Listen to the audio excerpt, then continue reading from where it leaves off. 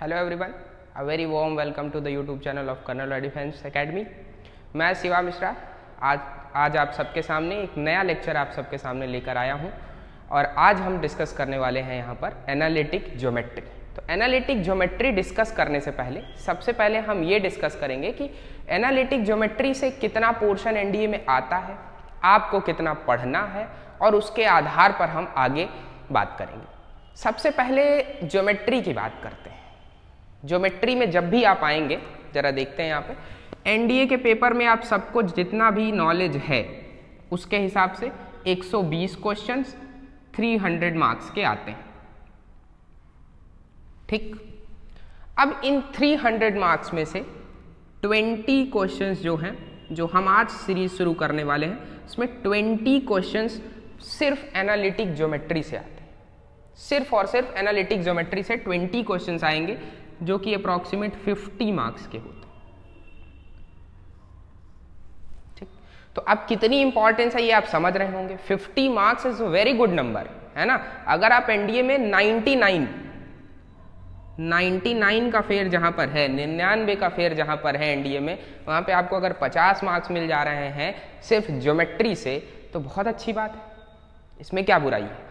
और ज्योमेट्री एक ऐसा टॉपिक है कि अगर आपको समझ में आ गया, एक बार आपका कॉन्सेप्ट क्लियर हो गया तो आपको ज़्यादा उसमें बार बार उसको रटने की ज़रूरत नहीं पड़ेगी। बार बार उसमें याद करने की ज़रूरत नहीं पड़ेगी और ये ज़रूरत नहीं पड़ेगी कि आप आप इसको भूल जा रहे हैं। अगर आपको आ रहा है तो एकदम क्लियर है कॉन्सेप्ट एकदम एक बार में आप इसको कर लेंगे। और बहुत अच्छा टॉपिक है ज्योमेट्री अभी जब पढ़ेंगे तो इसमें इतनी कुछ, इतना कुछ है इसमें पढ़ने के लिए कि पूछो मत।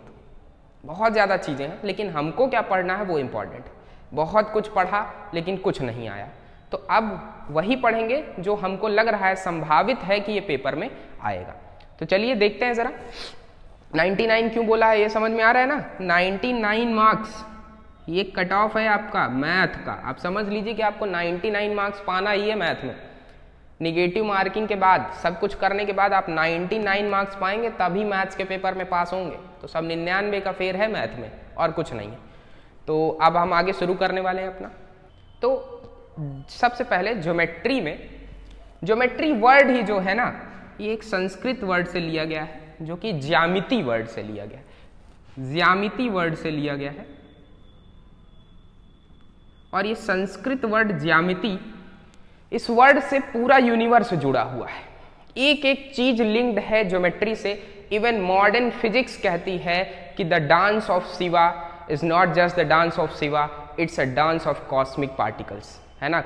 कॉस्मिक सब एटॉमिक पार्टिकल्स का डांस है शिवा का जो डांस है। तो दैट इज़ ज्योमेट्री हर जगह ज्योमेट्री है। एक एक जगह पर ज्योमेट्री है। आप, आपकी बॉडी ज्योमेट्रिकल है। है ना? आपकी दो आइज़ है। देखो, एकदम ह्यूमन बॉडी ज्योमेट्रिकल है एक तरीके से। तो सब कुछ यहाँ पर ज्योमेट्री ही है। एवरीथिंग इज़ ज्योमेट्री तो ज्योमेट्री का कॉन्सेप्ट शुरू कहाँ से करें? कहाँ से स्टार्ट करें और कहाँ तक जाना है? ये बहुत बड़ी बात है। तो आइए तो थोड़ा थोड़ा इसमें से हम देखेंगे। आपके लेवल पर चल के उसको और ऊपर लेवल तक पहुँचेंगे। तो सबसे पहले ज्योमेट्री में आप जो कुछ भी अभी तक पढ़े हुए हैं नाइन्थ में टेंथ में, इससे पहले सब लोग इतना तो जानते हैं ना कि एक लाइन क्या होती है स्क्वायर क्या होता है रेक्टेंगल क्या होता है, ये सब तो पता होगा। अब मुझे लग रहा है कि पता होना चाहिए। तो अगर ये सारी चीज़ें आपको पता हैं तो अच्छा बताइए, डिफाइन करिए। अगर आपको मैंने कह दिया कि व्हाट इज़ लाइन क्या आप डिफाइन कर सकते हैं? अगर मैंने कह दिया कोई भी ज्योमेट्रिकल फिगर सर्कल क्या है सर्कल तो क्या आप डिफाइन कर सकते हैं? तो आइए एकदम बेसिक पॉइंट से चलते हैं, क्या ज्योमेट्री रियल है कि नहीं है? तो अगर मान लीजिए आपको मैंने कह दिया कि क्यूब डिफाइन करिए तो क्यूब आप सब लोग जानते हैं कि क्यूब एक थ्री डायमेंशनल फिगर है। कुछ ऐसा होता है। देखिए, कुछ ऐसा होता है क्यूब ठीक है, सबको पता है ये क्यूब है। अब इस क्यूब की बात कर रहे हैं तो हमको पता है इसमें लेंथ ब्रेड हाइट तीनों आपस में बराबर होगी, सबको पता है। तो एक ऐसा फिगर जिसमें लेंथ ब्रेड हाइट आपस में बराबर है, तीनों, वो क्या है? क्यूब है। तो अच्छा क्यूब से जरा टू डायमेंशनल में आइए तो आपको क्यूब पता है तो इसका मतलब आपको स्क्वायर पता होगा। स्क्वायर पता होगा, तभी आपको क्यूब पता है, क्योंकि छह स्क्वायर आपस में जोड़ दीजिए तो क्यूब बन जाता है। तो स्क्वायर पता होगा। अगर स्क्वायर पता है आपको, क्यूब पता है। अगर आप कह रहे हैं कि मुझे क्यूब पता है हाँ सर, मैं डिफाइन कर सकता हूँ क्यूब तो आपको स्क्वायर भी पता होगा। आपको स्क्वायर पता है चलिए, वेरी गुड। आप स्क्वायर भी डिफाइन कर देंगे। अगर आपको स्क्वायर पता है तो स्क्वायर कैसे बना है? इन चार लाइंस से मिलके बना है। चार लाइन से मिलके बना है ना? तो आपको लाइन भी पता होगी। इसका मतलब है कि आपको स्ट्रेट लाइन भी पता होगी। अच्छा हाँ सर। बिल्कुल पता है। हम बचपन से लाइन बनाते आ रहे हैं। बहुत अच्छा अच्छा डायग्राम बनाया हमने। तो लाइन पता है तो अच्छा लाइन कैसे बनी? अब मेरा क्वेश्चन है कि लाइन कैसे बनी? तो चलो इसका आंसर मैं बता देता हूँ। अच्छा लाइन बनी है पॉइंट्स से मिल करके बहुत सारे पॉइंट्स को ऐसे से एक ज्वाइन कर दिया या दो पॉइंट्स को भी ज्वाइन करोगे? किन्हीं भी दो पॉइंट्स को आपको ज्वाइन करोगे तो कैसे बन जाएगी? लाइन बन जाएगी। मतलब अगर आपको लाइन पता है तो इसका मतलब पॉइंट पता होगा। बिल्कुल सही बात है। आपको क्या पता होगा? पॉइंट पता होगा। तो अब अगर आप चाहें तो पॉइंट हमको डिफाइन करके बता दीजिए। जो लोग भी पॉइंट डिफाइन कर देंगे, एक्चुअल में वो बहुत ही ज़्यादा गुड स्टूडेंट्स है, ब्राइट स्टूडेंट्स है कि पॉइंट क्या होता है। है ना? देखो, पॉइंट जो डिफाइन करने का तरीका है, वो अब क्या है पॉइंट? अगर किसी से पूछ लीजिए पॉइंट क्या है? कहीं एग्जिस्ट करता है, कहीं देखा है तुमने पॉइंट अपने जीवन में? तो पॉइंट एक ऐसी चीज़ है जो किसी ने नहीं देखी। अगर मैं किसी से कह दूँ तो कोई 10 सेंटीमीटर की लाइन ड्रॉ करो। तो क्या कोई बच्चा 10 सेंटीमीटर की लाइन ड्रॉ कर सकता है? मेरा क्वेश्चन है कि कोई 10 सेंटीमीटर की लाइन ड्रॉ कर सकता है। तो अगर इसका मैं उत्तर दूँ तो मैं ये कहूँगा कि 10 सेंटीमीटर की लाइन कोई परफेक्टली ड्रॉ नहीं कर सकता। क्योंकि आप जिस पेन से ड्रॉ कर रहे हैं, उसकी निप भी 0.5 पॉइंट mm है। तो आप जब स्केल से 10 सेंटीमीटर खींच रहे हैं तो एट एग्जैक्टली बॉर्डर पर 0.5 आगे पीछे होगा। 0.5 फाइव mm दोनों तरफ़ कुछ ना कुछ डिस्टेंस और पतला पेन ले लीजिए। 0.25 का ले लीजिए। 0.15 का ले लीजिए। कितना भी छोटा लेंगे आप तो कहीं ना कहीं एकदम परफेक्टली आप 10 सेंटीमीटर की लाइन नहीं खींच सकते। वो इसीलिए नहीं खींच सकते क्योंकि जो हमारा बेस है, जो पॉइंट की बात कर रहे हैं, उसका कोई डायमेंशन ही नहीं है। कितनी मज़े की बात है कि पूरा यूनिवर्स चल रहा है ज्योमेट्री से। हम सारे फिगर्स पढ़ रहे हैं इवन पॉइंट पढ़ रहे हैं इवन लाइन पढ़ रहे हैं इवन सब कुछ पढ़ रहे हैं, पर जो बेस पॉइंट ही है, वही डिफाइन नहीं है। कोई पॉइंट ही नहीं डिफाइन कर पाया आज तक कि व्हाट इज़ पॉइंट तो लोगों ने कह दिया it is a dimensionless quantity इसका कोई डायमेंशन नहीं है, ये एक इमेजिनरी कॉन्सेप्ट तो जितने भी फिगर्स हम आपके बना रहे हैं लाइन स्क्वायर क्यूब सर्कल जितना भी आप बनाएँगे, जितना ज्योमेट्रिकल फिगर आप बना रहे हैं, सबका स्टार्टिंग पॉइंट क्या है? एक पॉइंट है। और वो पॉइंट ही डिफाइंड नहीं है। That is imaginary point imaginary है, इसका कॉन्सेप्ट एक इमेजिनेशन है। तो ये जो पूरी ज्योमेट्री चल रही है, ये कहाँ से शुरू हुई? एक पॉइंट से शुरू हो रही है, एक बिंदु से शुरू हो रही है। और ये बिंदु हमारे लिए इतना इंपॉर्टेंट है कि अगर हम इसको इमेजिन कर लेंगे तो हम पूरे यूनिवर्स की ज्योमेट्री बता दे रहे हैं। हम ये भी बता दे रहे हैं कि सोलर सिस्टम है, उसमें अर्थ और जो है सन के बीच का डिस्टेंस कितना है। इवन सब कुछ डिफाइन कर दे रहे हैं, लेकिन पॉइंट जब हम इमेजिन कर लेंगे, तभी ये काम कर पाएँगे। तो अब हम एक इमेजिनेशन से ज्योमेट्री आपकी शुरू करना चाहते हैं। हम मान लेते हैं कि एक पॉइंट है, वो एग्जिस्ट करता है कहीं, जिसकी हमें, जिसकी हम कल्पना नहीं कर सकते। ठीक है? तो अब जब हम मान ले रहे हैं कि एक बिंदु है हमारे पास तो पॉइंट कैसा है? पॉइंट है डायमेंशनलेस या फिर इमेजिनरी कह सकते हैं। हम मान ले रहे हैं कि एक पॉइंट है। तो अब जब हमने एक बिंदु मान लिया, किसी भी प्लेन पर, किसी भी कार्डिनेट एक्सिस के लॉन्ग हम कोई भी एक पॉइंट मान ले रहे हैं तो पॉइंट का पोजीशन डिफाइन करना, अगला हमारे पास बैरियर यह है कि पॉइंट का पोजीशन क्या होगा। पोजीशन ऐसे ही जैसे अगर आपसे पूछा जाए तो इस समय आप कहाँ हैं? तो मान लीजिए आप इस समय प्रयागराज की पावन धरती पर हैं। तो अगर आप प्रयागराज की पावन धरती पर हैं तो आप अपने आप को किसी से रिलेट कर रहे हैं। किस चीज़ से रिलेट कर रहे हैं? आप प्रयागराज के रेफरेंस में बता रहे हैं कि हम प्रयागराज में ठीक है? इसी तरीके से अगर आपसे कोई बाहरी कंट्री का पूछेगा अदर कंट्री का तो आप बताएँगे इंडिया में है। तो आपको एक रेफरेंस पॉइंट चाहिए अपनी पोजीशन बताने के लिए। है ना, एक रेफरेंस पॉइंट चाहिए इसी तरह से कोई बिंदु है, कोई पॉइंट है, ये कोई पॉइंट है तो इसको कुछ रेफरेंस चाहिए ना कि इस पॉइंट का पोजीशन कैसे डिफाइन किया जाए। तो इसके लिए जो रेफरेंस है, वो है कोऑर्डिनेट एक्सिस कोऑर्डिनेट एक्सिस अब ये कोऑर्डिनेट एक्सिस अभी हम टू डायमेंशनल ज्योमेट्री की बात कर रहे हैं तो वहाँ पर कोऑर्डिनेट एक्सिस क्या क्या होती हैं?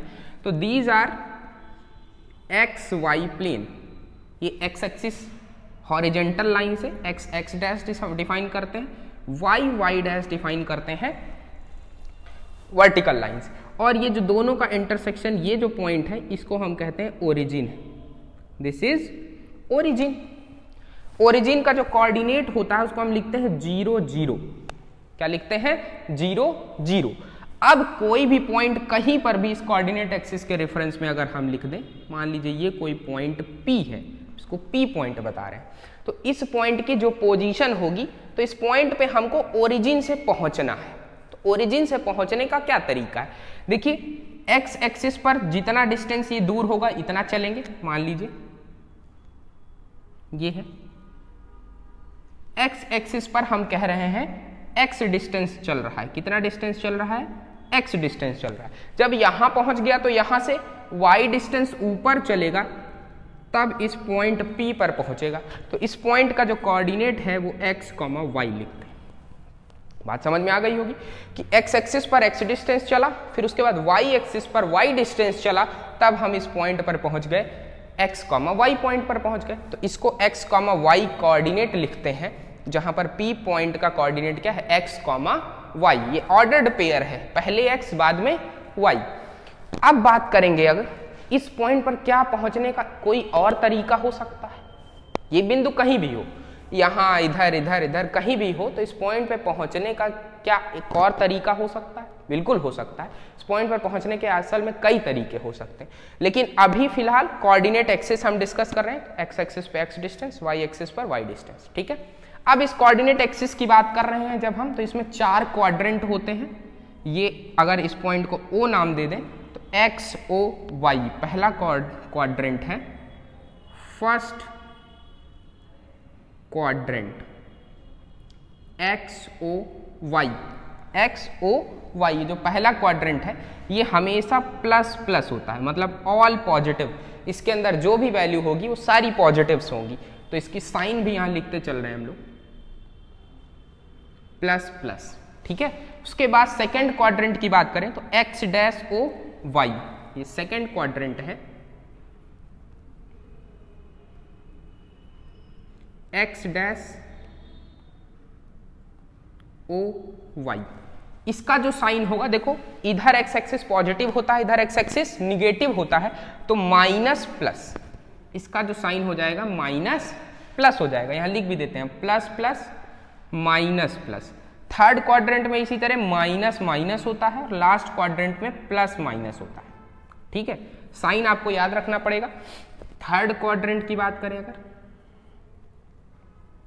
थर्ड क्वाड्रेंट की बात करें तो थर्ड क्वाड्रेंट क्या है? X dash O Y dash X dash O Y dash और इसमें दोनों निगेटिव होता है। इसी तरीके से आप फोर्थ क्वाड्रेंट लिख दीजिए। एक्स ओ वाई डैश और इसमें X axis positive Y axis negative होती। तो ये है हमारा coordinate system rectangular coordinate axes है। एक्स एक्सिस वाई एक्सिस जहाँ पर किसी पॉइंट की पोजीशन हमने डिफाइन कर दी। ठीक है? अब अगर मान लीजिए ये पॉइंट इधर कहीं पर है, यहाँ पर तो इसका एक्स कोऑर्डिनेट क्या होगा? माइनस होगा तो माइनस एक्स कॉमा वाई हो जाएगा। अगर थर्ड में है कहीं तो ये पॉइंट हो जाएगा minus X comma minus Y और लास्ट में अगर कहीं है तो x कॉमा माइनस वाई हो जाएगा। क्योंकि साइन क्या है? प्लस माइनस x वाला प्लस है, y वाला माइनस है। तो इस वजह से चारों कोऑर्डिनेट्स में जो पॉइंट है, वो कैसे डिफाइन करेंगे हमने बता दिया। अगर ये बेस आपका क्लियर है पॉइंट क्या है अगर पोजीशन आप पॉइंट की डिफाइन कर पा रहे हैं तो इसी से हम तार से तार जोड़कर आगे आपको उस बिंदु तक पहुँचा देंगे जहाँ आप पहुँचना चाहते हैं। हम पूरी ज्योमेट्री इसी के बेसिस पर लेकर चलेंगे। अगर ये बात अभी आपको समझ में आ गई है तो इसके आगे जो कुछ भी पढ़ाएँगे हम, आप एकदम जोड़ते हुए चले जाएँगे यहाँ से, आपको एक परसेंट की कहीं दिक्कत नहीं आएगी। ठीक है, इसके आगे देखते हैं। चलिए तो अभी आपने पढ़ लिया पॉइंट क्या होता है? पॉइंट की पोजीशन क्या होती है? अब हम आगे डिस्कस करने वाले हैं। अब इस कोऑर्डिनेट एक्सरसाइज में एक से ज़्यादा पॉइंट होंगे, कई सारे पॉइंट्स होंगे तो दो पॉइंट्स को ज्वाइन करने पर क्या बनता है? एक लाइन बनती है तो हम यही बताने वाले हैं आपको कि लाइन क्या होती है। तो ज्वाइन ऑफ़ टू पॉइंट्स होता है, दो पॉइंट्स को join of two distinct points कोई भी दो डिस्टिंक्ट पॉइंट्स हो, कहीं पर भी हो, उनको आप ज्वाइन करेंगे तो हमेशा एक स्ट्रेट लाइन बनेगी। बनेगी ना? कहीं पर भी कोई दो पॉइंट्स हो मान लीजिए ये कोई पॉइंट P है, जिसका कोऑर्डिनेट लिख रहे हैं x1 वन कॉमा वाई मतलब इसकी पोजीशन है रेक्टेंगुलर एक्सिस पे। कोई एक पॉइंट Q है x2 two comma Y to तो इन दोनों पॉइंट्स को अगर आप ज्वाइन करेंगे तो एक स्ट्रेट लाइन बनेगी। तो अब देखिए, हमको अगर पॉइंट समझ में आ गया तो स्ट्रेट लाइन बहुत आसान है एकदम। दो पॉइंट्स को ज्वाइन करोगे तो क्या बनेगा? स्ट्रेट लाइन बनेगा। तो इन दो पॉइंट्स के बीच की डिस्टेंस अगला हमारा जो टारगेट है कि इन दो पॉइंट्स के बीच की डिस्टेंस कैसे निकालेंगे तो उसके लिए है हमारे पास distance formula distance formula distance formula क्या कहता है? कोई दो पॉइंट्स हो, P और Q, जिसके coordinates x1 y1 x2 y2 हो तो दोनों पॉइंट के बीच की जो डिस्टेंस क्यू है इस डिस्टेंस को लिखते हैं under root of X two minus X one का whole square plus Y two minus Y one का होल स्क्वायर। तो अब इन दो पॉइंट्स के बीच की डिस्टेंस आ जाएगी। पी क्यू जो डिस्टेंस है, ये डी कह दें हम। तो ये जो डिस्टेंस डी है, इस फॉर्मूले से हम लिख सकते हैं। एक एग्ज़ाम्पल मान लीजिए कोई एक पॉइंट है P one comma two. Point क्या है? वन कॉमा टू एक दूसरा पॉइंट है Q, दूसरा पॉइंट है two comma three two comma three point इन दोनों पॉइंट्स के बीच की हम डिस्टेंस निकालना चाहते हैं। तो डिस्टेंस फार्मूला हमारे पास है, देखिए X one Y one X two Y two दो पॉइंट्स हैं। डिस्टेंस फार्मूले से हम पी क्यू डिस्टेंस निकाल सकते हैं under root of X two minus X one मतलब two minus one whole square plus three minus two का होल स्क्वायर इसका मतलब आ गया ये कितना? वन का स्क्वायर वन वन का square one one plus one root two unit root two unit तो दो पॉइंट्स के बीच का डिस्टेंस कितना आ गया? रूट टू यूनिट्स आ गया. इसी तरीके से कहीं भी कोऑर्डिनेट एक्सिस में दो पॉइंट्स गिवन हो तो हम उन दो पॉइंट्स के बीच का डिस्टेंस निकाल सकते हैं। अब अगली बात क्या आती है हमारे दिमाग में? डिस्टेंस हो गया, सर, पॉइंट हो गया, दो पॉइंट को ज्वाइन कर दिया, एक लाइन बन गई, और लाइन जो बन गई तो हमने दोनों पॉइंट के बीच का डिस्टेंस निकाल लिया डी अगली बात क्या? है अब दिमाग बहुत खुराफाती है तो हम शांत नहीं बैठते कि डिस्टेंस निकाल लिए तो खुश है। नहीं, बिल्कुल नहीं। हम कह रहे हैं इसी लाइन पर, क्योंकि पॉइंट तो हर जगह होंगे तो इस लाइन पर कोई और पॉइंट है। मान लीजिए कोई और पॉइंट है इस लाइन पर, एक पॉइंट हम डिफाइन कर रहे हैं आर आर पॉइंट। तो आर पॉइंट का कोऑर्डिनेट कुछ होगा, कुछ भी कोऑर्डिनेट हो सकता है इसका, इन जनरल कुछ भी हो सकता है। तो एक्स वाई मान लेते हैं। एक्स वाई जनरल, ठीक है? तो ये पॉइंट इस लाइन को किस रेशियो में डिवाइड करेगा, ये निकालना है है ना? तो इस, ये पॉइंट इस लाइन को किस रेशियो में डिवाइड करेगा? हम कह रहे हैं M is to N ratio में अगर डिवाइड करेगा तो सेक्शन फॉर्मूले की बात होगी वहाँ पर। इसके आगे डिस्कस करते हैं। चलिए। तो अब हम डिस्कस करने वाले हैं सेक्शन फॉर्मूला जैसे कोई एक पॉइंट आर है, देखिए दो पॉइंट्स पी क्यू को ज्वाइन किया तो एक लाइन बनी। इसके बीच में कोई एक पॉइंट है आर कहीं पर भी पी क्यू के बीच में एक पॉइंट है आर जिसका हम कोऑर्डिनेट कह रहे हैं क्या है? एक्स कॉमा वाई तो आर इस लाइन पी क्यू को M is to N ratio में डिवाइड कर रहा है। किस रेशियो में डिवाइड कर रहा है? M is to N ratio में डिवाइड कर रहा है तो जो पॉइंट आर है, इसका कोऑर्डिनेट कैसे निकालेंगे? तो उसके लिए हमारे पास है सेक्शन फार्मूला सेक्शन फार्मूला कहता है for internal division and for external division अब इसको समझो बात को। देखो पी क्यू पॉइंट के बीच में कहीं लाइन कोई पॉइंट आर पड़ रहा है तो इसको इंटरनली डिवाइड कर रहा है।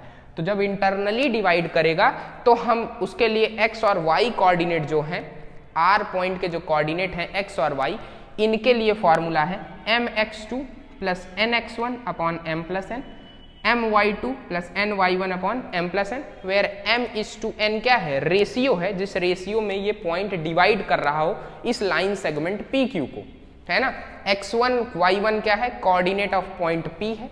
एक्स टू वाई टू क्या है? कोऑर्डिनेट ऑफ़ पॉइंट क्यू है, ठीक है? अगर यहीं पर बात करें एक्सटर्नल डिवीज़न की for external division external division क्या है भाई? कोई नई बात आ गई क्या? तो नई बात नहीं है, देखो। ये कोई लाइन है, ये पॉइंट है P, ये पॉइंट है Q, ठीक है? एक कोई पॉइंट इस लाइन के बाहर कहीं आर लाई कर रहा है। आर लाई कर रहा है इसको ज्वाइन कर दिया जाए।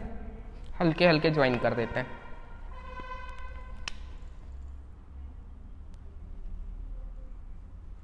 ठीक। अब देखो, इस पी क्यू लाइन को एक्सटर्नली कैसे डिवाइड करेगा जरा देखो। तो P से R तक की जो डिस्टेंस है और R से Q की जो डिस्टेंस है तो इसको हम कह रहे हैं M और N M और N तो देखो, R जो है M is to N ratio में इसको डिवाइड कर रहा है एक्सटर्नली तो इसके लिए जो फॉर्मूला होता है, जो R पॉइंट का जो कोऑर्डिनेट निकालना है हमको एक्स वाई और P और Q का सेम वही रहेगा। तो इसके लिए जो फॉर्मूला है, x is equal to M X two minus N X one upon M minus N सिर्फ़ माइनस लग जाएगा बस, और कोई अंतर नहीं है। Y y is equals to M Y two minus N Y one upon M minus N है ना? तो अभी तक आपको ये समझ में आ गया होगा कि सेक्शन फार्मूला कैसे काम करता है। इस पर एक क्वेश्चन ले लेते हैं तो आपको और क्लियर हो जाएगा कॉन्सेप्ट कि सेक्शन फार्मूला कैसे काम करता है। तो अब हम डिस्कस करने वाले हैं एक क्वेश्चन सेक्शन फार्मूला से रिलेटेड देखिए क्या कह रहा है। C is a point line on the line segment joining the two points A और बी कोई दो पॉइंट्स हैं जिनके कोऑर्डिनेट्स गिवन है ये। तो इन दो पॉइंट्स के बीच में कोई पॉइंट है सी कोई पॉइंट है C such that A C is equal to two times of B C इसका मतलब है कि जो A C upon B C is equal to two upon one मतलब जो रेशियो है, वो कितना है? टू और one two is to one ratio में ये लाइन सेगमेंट ए बी को डिवाइड कर रहा है. क्या? पॉइंट सी डिवाइड कर रहा है. तो हमको m पता है, n पता है. क्या पता है? M. m is equals to two N is equals to one A के कोऑर्डिनेट्स पता हैं बी के कोऑर्डिनेट्स पता हैं, हमें क्या निकालना है? सी के coordinates then the coordinate of C is तो सी का कोऑर्डिनेट बहुत आसान है। अब तक सब बच्चों ने कहा होगा, सर, क्या पढ़ा रहे हैं? एकदम आसान आसान पढ़ा रहे हैं. हाँ अभी आएगा, और भी बहुत सारी चीज़ें आएँगी। देखिए ज़रा। तो सी का जो कोऑर्डिनेट होगा एक्स इज़ इक्वल टू यही फॉर्मूला लगा दो m x two plus n x one upon m plus n यहाँ से लिख लेंगे, m कितना है? टू एक्स टू कितना है? एक्स टू ये है two plus one into minus three upon m plus n कितना हो जाएगा? थ्री हो जाएगा। तो ये कितना आ जाएगा? Four minus three upon three ये कितना आ गया? वन बाई थ्री इसी तरीके से एक वाई निकाल लेंगे। M y two plus n y one upon m plus तो ये सीधा हो गया। वाई टू कितना है? वन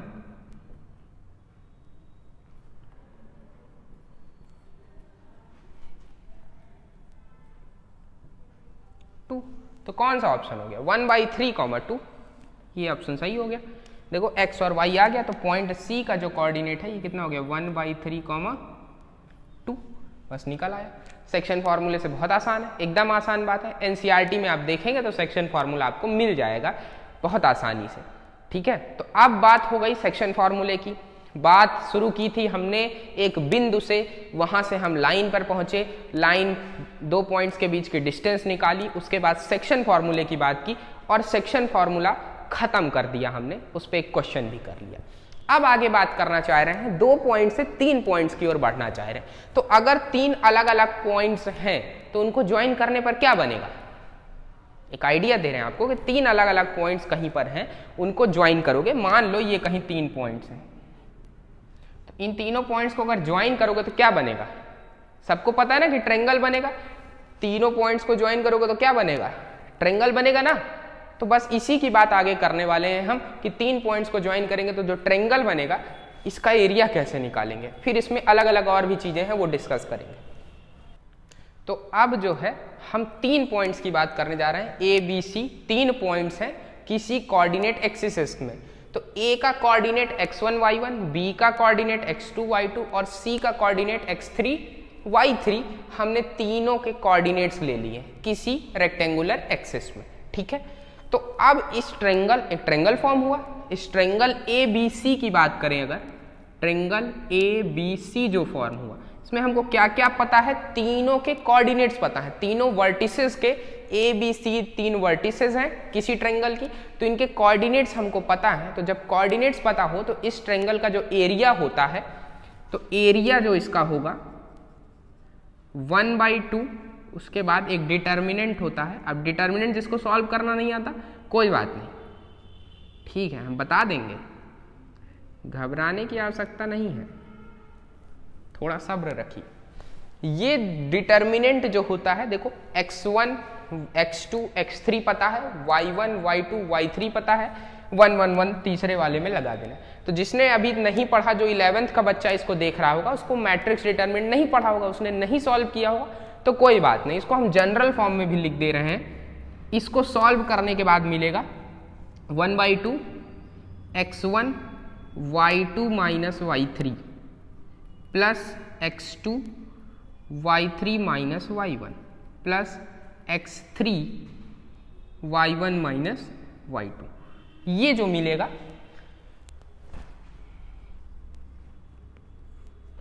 ये जो मिलेगा, ये है area of triangle A B C देखो x1 पता है y2 y3 सब पता है ना? X2 x3 y1 y2 y3 सब कुछ पता है। इसी डिटर्मिनेंट को सॉल्व करने के बाद ये आता है। तो अभी आपने डिटर्मिनेंट क्योंकि सीखा नहीं है सॉल्व करना तो इसलिए आपको नहीं आता है। अभी सिखा भी देंगे इसको सॉल्व करना तो और आसानी से तुम लोग कर लोगे। ये भी नहीं याद रखना पड़ेगा, यही याद रहेगा तो काम हो जाएगा। तो अब अगर आपको एरिया ऑफ़ ट्रेंगल का फॉर्मूला समझ में आ गया तो एक क्वेश्चन गिवन है। देखिए क्या कह रहा है कि if area of triangle with the vertices तीन वर्टिसेस क्या क्या गिवन है? जो भी वर्टिसेस गिवन है, हम लिख दे रहे हैं। देखिए, क्या वर्टिसेस गिवन है?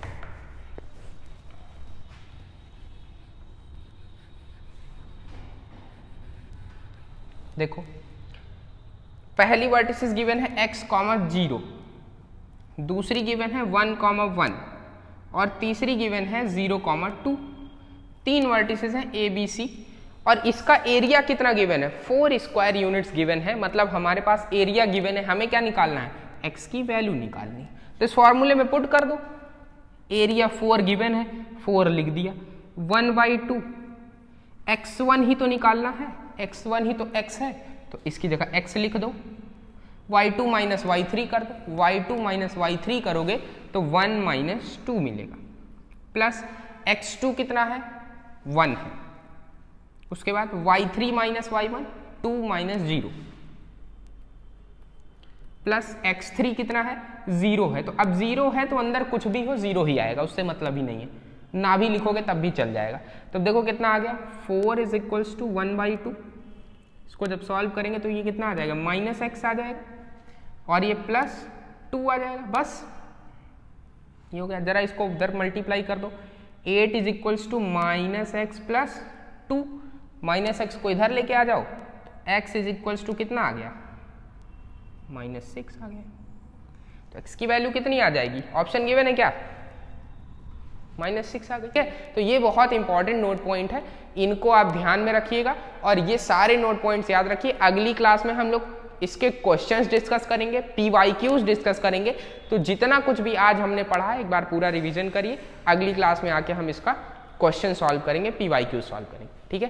Thank you so much